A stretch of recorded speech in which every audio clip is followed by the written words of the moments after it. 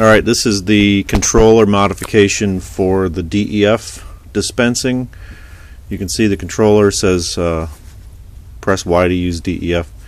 Um, this is what's going to go on the truck up next to the DEF hose and uh, so if I'm going to make a delivery uh, it'll ask me to enter a customer number let's just say customer 55 uh, and then if I'm going into a truck it might want to track each individual truck number so I'm going to put it into truck 123 and then uh, it's ready it says get customer 55 on the truck 123 yes to begin so now uh, you can hear it pumping.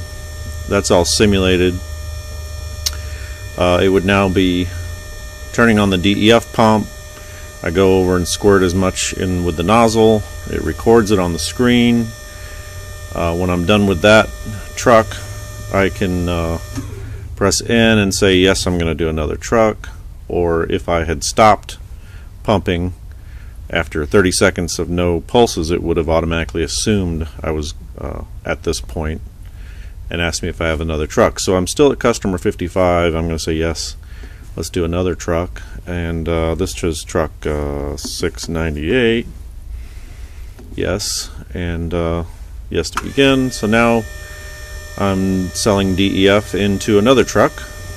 And uh, let's say I'm done with that truck and uh, now I'm, I'm let's say I'm done with that customer so another truck is no and at this point it has recorded those deliveries onto the flash drive uh, and that's the DEF cycle if I'm going to deliver DEF without truck numbers let's say customer number 89 enter truck number I can just put zero or something like that ignore that truck number and uh, it, it doesn't make any judgments as to your entries of customer or truck numbers. It just takes whatever you put in.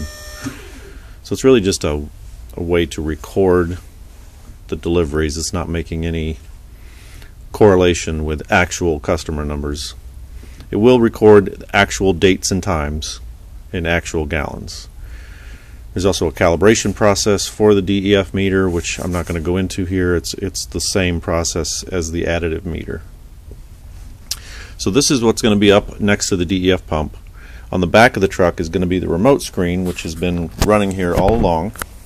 And it only shows additive stuff. So I'm not going to show you, well, never mind. So this is the additive. I'm going to turn on the additive dispensing and you'll see now it says unit is ejecting. If I go back to the controller at this point it says system is injecting the other screen.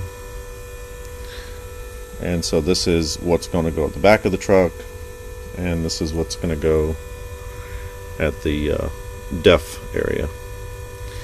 As soon as I stop injecting it records that and we're back to being able to do DEF or additive. You can do one or the other, but not at the same time.